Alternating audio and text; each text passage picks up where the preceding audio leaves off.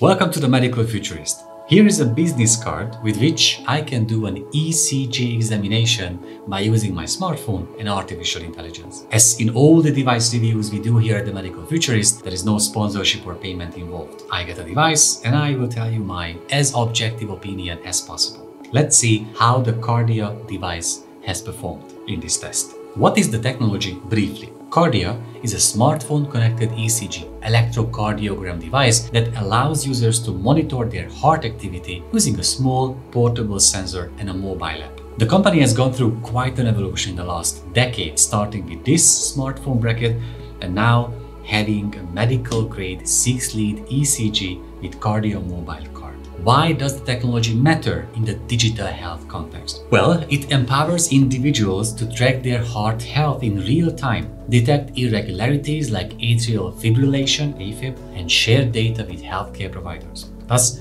promoting proactive health management and an early detection of cardiac issues. How does it work? Users place their fingers on the Kardia sensor, which records an ECG and sends the data to the Kardia app on their smartphone. The app then analyzes the data and provides immediate feedback on heart rhythm using AI or can pay to get it analyzed by a cardiologist. What is its price and global availability? The Kardia mobile device is priced around 99 US dollars and is available for purchase online globally, although availability may vary by country due to regulatory approvals. What could be the limitations with its use? Limitations include potential inaccuracies in readings if the sensor is not used correctly and the need for a compatible smartphone. Also, the Kardia Mobile and Kardia Band products have some features that are only available to those users who are under the care of a physician. Therefore, these features are available to prescription users only.